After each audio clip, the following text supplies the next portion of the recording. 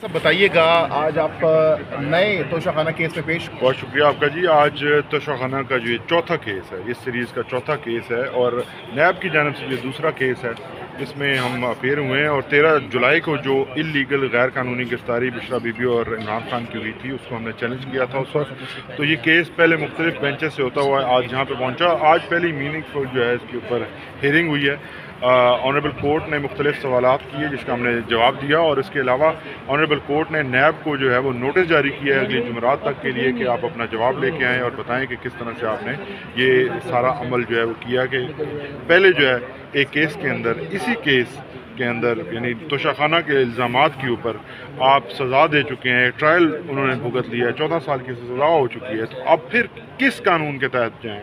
आपने इनको गिरफ़्तार किया और जो है वो आप अब दूसरा मुकदमा कायम करना चाहते हैं। उस पर आप लोगों ने क्या दलाल दी है और दूसरी पार्टी देखिए, ये गैर कानूनी काम है। गैर कानूनी इस तरह से है कि जब किसी शख्स के ऊपर एक ट्रायल एक मुकदमा, एक रेफरेंस फ़ाइल हो जाता है तो अगर उसको सज़ा हो जाए या उसको बरी कर दिया जाए डिपेंडिंग ऑन द एविडेंस जो लाया जाता है तो उसके बाद उन्हीं इल्ज़ाम को दोबारा से ट्राई नहीं किया जा सकता। ये ना किसी दुनिया की तारीख में आज तक हुआ है, ना पाकिस्तान की तारीख में जब भी इस किस्म की कोई टेक्निकल चीज़ों के ऊपर गलती हो जाती है कहीं तो वो हमेशा अदालतों ने उसको जो नल एंड वॉइड डिक्लेयर किया इलीगल डिक्लेयर किया। यहाँ पे गलती नहीं है, यहाँ पे बदनीति है। नैब की जानब से सरीहन बदनी, बदनीति है। तेरह जुलाई को मैंने खुद इमरान खान और बुशरा बीवी साहिबा की नैब अदालत के अंदर जब हमारा अलकादर ट्रस्ट केस का ट्रायल था वहाँ पे इस केस के अंदर उनकी दरख्वास्त जमानत दायर की थी जहाँ पे वो दोनों मौजूद थे। जज साहब ने उस दरख्वास को सुनने से इनकार किया पहले उसके बाद उनकी जानब से आ, सिर्फ़ नोटिस जारी किया गया। जब सिर्फ़ नोटिस जारी किया गया तो बाद में रिपोर्ट जब आई, दो दिन का नोटिस आया तो मंडे की रिपोर्ट में जब नैब ने ये कहा कि 12 तारीख को इनका वारंट निकलाया उस दिन नैब के जो प्रोसिक्यूटर्स खड़े थे, उनका रिकॉर्ड पे नहीं लाया गया। लेकिन अदालत के अंदर उन्होंने यही कहा था कि इसमें हम गिरफ्तारी नहीं करना चाहते। लेकिन चंद घंटों के बाद जो एपिसोड वहाँ पर जेल के अंदर हुआ और जिस तरह से उनको गिरफ़्तार किया गया तो ये सब आपके सामने है। तो ये तमाम चीज़ें कोई आम चीज़ें नहीं हैं। यहाँ पे मखसूस जो चीज़ें अदालतें हैं, मखसूस लोग हैं, वो एजेंडे को ड्राइव करते हैं। अब अदालत की जानब से मेरी अपनी वकालत में मैंने आज तक नहीं देखा कि दरख्वास्त ज़मानत दायर की गई हो। और अगर कोई पटिशनर ये कह रहा हो कि मुझे जो है वो ख़तरा है, गिरफ्तारी का ख़तरा है, और सारी दुनिया को पता था, मुझे पता है, उनको खुद भी पता होगा कि ख़तरा है गिरफ्तारी का, क्योंकि ये जिस तरह से बदनीति के साथ केसेस बनाए गए हैं तो उसके ये होता ही नहीं है कि जज जो है वो कहें कि जनाब मैं आपको बेल नहीं देता। ये तो एक रिलीफ है। ये तो हर शहरी का हक है। जो शहरी अदालत के अंदर पहुँच जाता है तो अदालत तो कभी दरवाज़ा बंद नहीं करती लेकिन यहाँ इमरान खान और बीबी साहिबा के ऊपर इस केस के अंदर जब उन्होंने आ, हमने बेल फ़ाइल की तो बेल को एंटरटेन ही नहीं किया गया। सिर्फ़ सिंपल नोटिस भेज, भेजे गए और अगले दिन जो है वो नैब लेके आ गया कि जनाब हमने तो बारह जुलाई से इनका वारंट जो है वो जारी कर दिया। तो ये सारी चीज़ें सीक्रेटली रखी गई हैं। अब अगर आपने इस कानून को इसलिए रख लिया है कि आपने सिर्फ़ और सिर्फ़ अपने सियासी मुखालफी के ख़िलाफ़ पर्चे काटने हैं और उनको जो है आपने जेलों में बंद रखना है। और हुकूमत तो बार बार जो है वो कह चुकी है मिनिस्टर्स कह चुके हैं। मिनिस्टर्स का क्या लेना देना है? जब नैब एक इंडिपेंडेंट अदारा है तो नैब के अंदर उनकी कैसे इंटरफेरेंस है? जब वो कह रहे थे कि हम हर हद तक जाएँगे और इमरान खान और उसकी को जो है वो जेल के अंदर रखेंगे।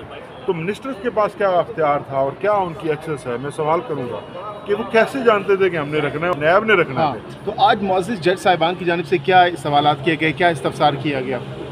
देखिए जी वो ज़ाहिर अब तो इनिशियल हेयरिंग थी तो मुख्तलिफ़ जो फैक्ट्स हैं वो सामने लाए गए हमारी तरफ़ से चार्ज शीट जो है वो पढ़ के सुनाई गई।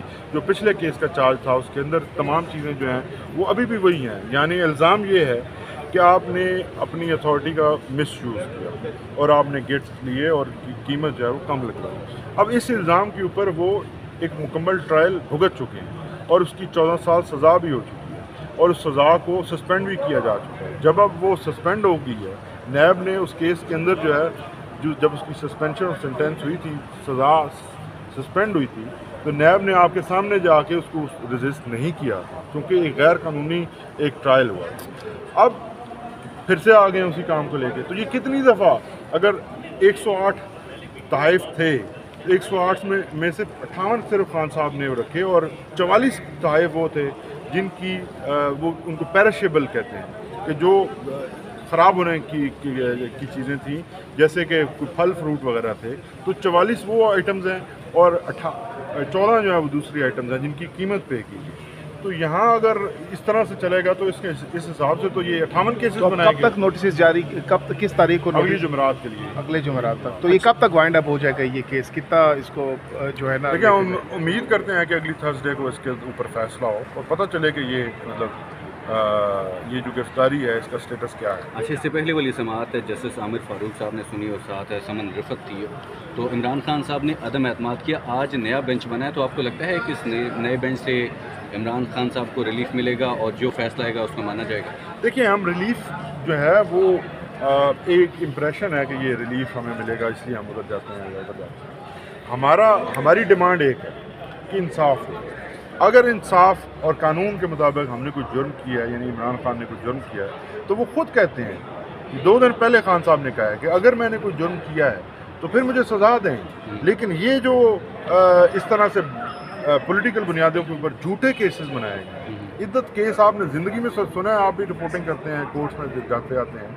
आपने कभी सुना है कि इद्दत केस इस तरह का घटिया केस बनाया गया? आपने कभी सुना है कि साइफर जैसा केस बनाया गया? आपने कभी सुना है कि एक केस के ऊपर मक्खी के ऊपर फिर मक्खी मारी जाए?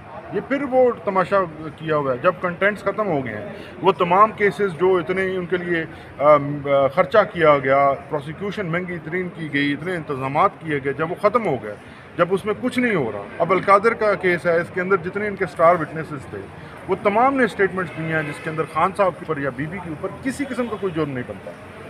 इनके स्टार विटनेस थे परवेज खटक ये प्रोसिक्यूटर खुद उठ के बाद में जो है, वो कहते हैं कि इनको हॉस्टाइल डिक्लेयर करें। किसका ना, ये कैसे कर रहे हैं? क्योंकि इनके पास कोई सब्सटेंस नहीं है, कोई एविडेंस नहीं है। जब एविडेंस